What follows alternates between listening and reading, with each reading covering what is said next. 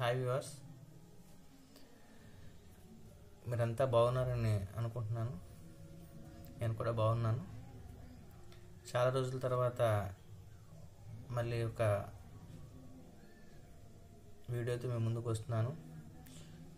మీరందరూ నన్ను చాలా సపోర్ట్ చేస్తున్నందుకు మీ అందరికీ నా యొక్క థ్యాంక్స్. మీ సపోర్ట్ ఎలాగ ఇస్తారని ఆశిస్తున్నాను. ఖచ్చితంగా మంచి వీడియోస్తోటే మేము ముందుకు వస్తాను.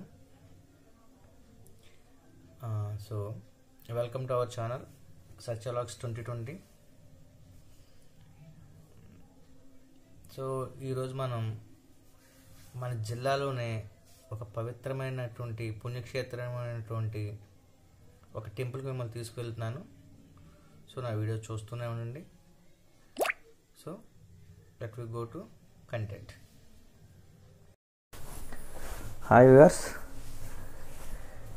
ఈరోజు మనం మన పశ్చిమ గోదావరి జిల్లాలోని ప్రముఖ పుణ్యక్షేత్రమైనటువంటి శ్రీ హనుమాన్ వారి టెంపుల్కి వెళ్ళబోతున్నాం. ఇది భీమవరానికి పది కిలోమీటర్ దూరంలో ఉన్న నందమూరు గరువు అనే ఊరిలో ఉంది. సో మిమ్మల్ని నందమూరు గరువుకి తీసుకువెళ్తున్నాను. ప్రస్తుతం అక్కడ స్వామివారికి యాభై ఐదు వార్షిక మహోత్సవం జరుగుతుంది.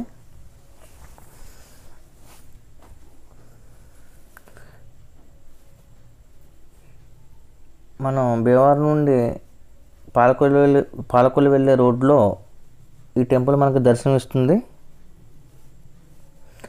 నందమూరి గరువు ఆంజనేయ స్వామిగా ఇక్కడ హనుమంతుల వారు బాగా ప్రసిద్ధి చెందారు.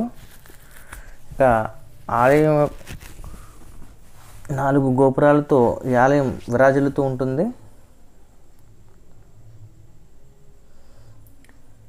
ఇక ఆలయ గోపురం పైభాగాన్ని మీరు చూసినట్లయితే హనుమంతుల వారి యొక్క రూపాలతో శిల్పులు అత్యద్భుతంగా నిర్మించారు.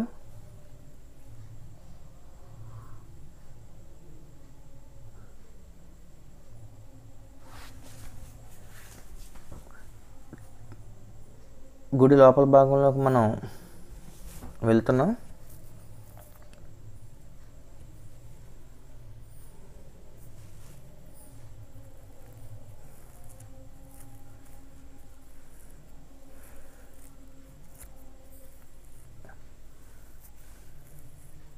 పుష్పాలతో అలంకరణ కూడా ఇక్కడ మీరు చూడవచ్చు. గుడి అంతా కూడా చాలా సుందరంగా కమిటీ వారు అలంకరించారు. ఇంకా ఇక్కడ అయ్యప్ప స్వామి వారిని కూడా ఇక్కడ మీరు చూస్తున్నారు ఇప్పుడు.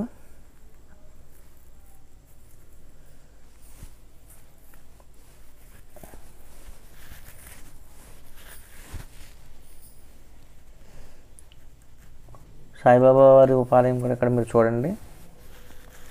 చాలా ఉపాలయాలు కూడా అందులో మనం ఈ గుళ్ళో చూడవచ్చు. సుబ్రహ్మణ్య స్వామి ఆలయం కూడా ఇక్కడ ఉంది.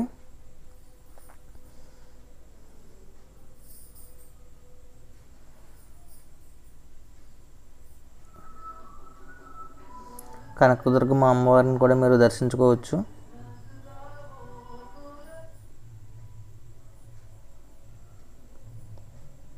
వినాయకుల వారిని కూడా మనం దర్శించుకోవచ్చు. వెంకటేశ్వర స్వామిని కూడా దర్శించుకోవచ్చు.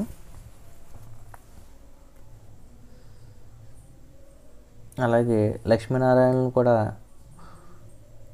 చూడవచ్చు.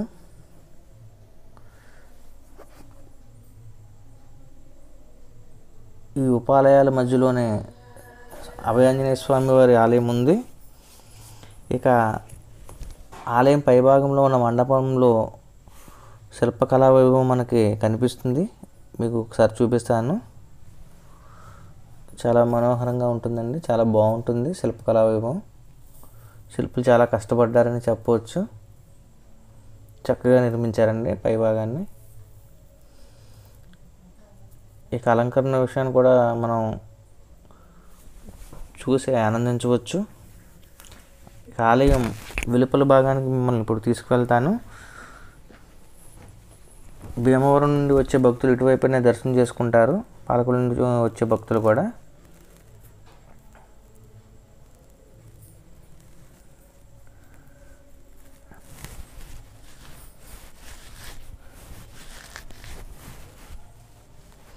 చుట్టుపక్కల జిల్లాల నుండి కూడా ఇక్కడ భక్తులు వస్తారండి.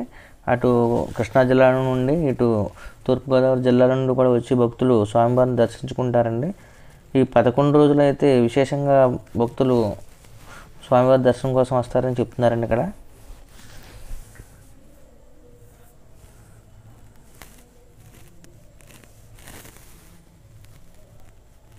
చూడండి స్వామివారి దివ్యమంగళ విగ్రహాన్ని.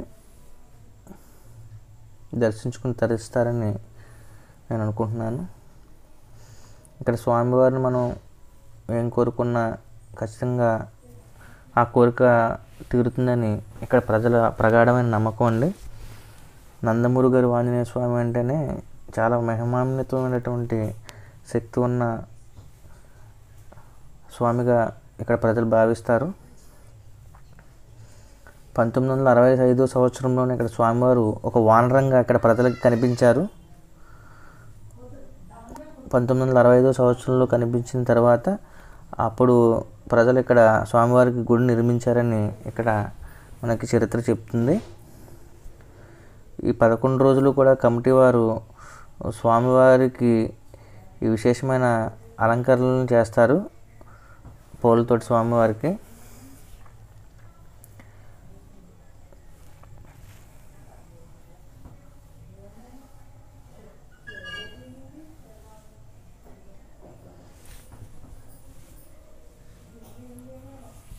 ప్రతి సంవత్సరం కూడా డిసెంబర్ నెలలోనే వార్షిక మహోత్సవాలు నిర్వహిస్తారండి. ఈ ప్రతిరోజు భజనలతోటి నిత్యం భక్తులతోటి కోలాహలంగా ఈ యొక్క ఆలయం ఉంటుంది. అంతేకాకుండా సినీ మ్యూజికల్ నైట్స్ కూడా ఇక్కడ నిర్వహిస్తారు ఈ పదకొండు రోజుల్లోనూ. పిల్లల కోసం సాంస్కృతిక కార్యక్రమాలు జైన్ రూల్స్ ఇట్లాంటివి కూడా ఏర్పాటు చేస్తారు. విశేషమైన శక్తి గల శక్తివంతమైనటువంటి ఆలయం అండి ఇది. చాలా మహిమాన్వితమైన ఆలయం అండి. అందరూ కూడా తప్పనిసరిగా భీమవరం వచ్చి నందమూరి గారు వెళ్ళి స్వామివారిని దర్శించుకోండి. స్వామివారి యొక్క కృపా కటాక్షాలను పొందాలని నేను మనస్ఫూర్తిగా కోరుకుంటున్నాను. ఇప్పుడు ఆలయం యొక్క గొప్పతనాన్ని ఇక్కడ ఆలయం యొక్క కమిటీ వారిని కూడా అడిగి మనం తెలుసుకునే ప్రయత్నం చేద్దాం. చెప్పండి. జై శ్రీరామ్. రామభక్తుని యాభై ఐదో వార్షికోత్సవం. అనుమతి అనుమతి ఈరోజు అనగా ఇరవై ఏడు పన్నెండు ఉదయం ఐదు గంటల నలభై నిమిషాలకి కలస్థాపన జరిగి ఎనిమిది గంటల నలభై నిమిషాలకి స్వామివారి ఊరేగింపుగా ఊరు ఊరు గ్రామంతా తిరిగి స్వామివారి గుడి చేరుకుంటారు. ప్రతి సంవత్సరం కూడా ఆంధ్రాలో కానీ ఎక్కడన్నా సరే మన నాటక రంగం కళాకారులందరినీ కూడా ప్రతి సంవత్సరం తీసుకురావడం జరుగుతుంది. కానీ ఈ భక్తులు ఎవరైనా సరే కొడుకులు తగ్గులు ఉంటే ఆ కొడుకులు నెరవేర్చి ఆ- నీత వచ్చి ఇక్కడ ముక్కులు చెల్లించుకుంటూ వెళ్తూ ఉంటారు. ఇక్కడికి వచ్చిన సిబ్బంది కూడా ఎవరైనా సరే డిపార్ట్మెంట్ పోలీస్ డిపార్ట్మెంట్ కానీ ఎవరైనా సరే ఏ ఏ ఏ ఏ డిపార్ట్మెంట్ వచ్చినా సరే ఇక్కడికి వచ్చి ముక్కుని వెళ్తే కనుక వాళ్ళకి ఆ సత్బంధాన్ని ఇస్తుంది. అలాగే హాయ్ ఫ్రెండ్స్ చూసారుగా నా వీడియో మీకు నచ్చిందని అనుకుంటున్నాను. సో నా వీడియో మీకు నచ్చినట్లయితే లైక్ చేయండి. మన తోటి మిత్రులందరికీ కూడా షేర్ షేర్ చేయండి. కొత్త వారు సబ్స్క్రైబ్ చేసుకోండి.